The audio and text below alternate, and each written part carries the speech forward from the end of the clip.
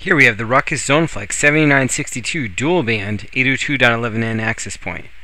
The unit has both 2.4 and 5.8 GHz radios to unlock the true potential of 802.11n. We did a quick throughput test for 5.8 GHz, 40 MHz with Intel 5100 802.11n chipset. We're able to sustain over 200 megabits per second. Here you see the 7962 next to the 7942, 2.4 GHz access point. Notice the larger heatsink on the 7962. Because the dual radio design, power requirements are higher. The power cube included with the 7962 is 1500 milliamps versus 300 milliamps for the 7942.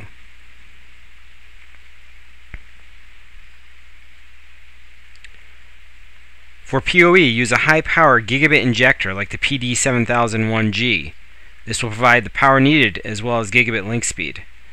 Buy the Ruckus 7962 today at KeenanSystems.com.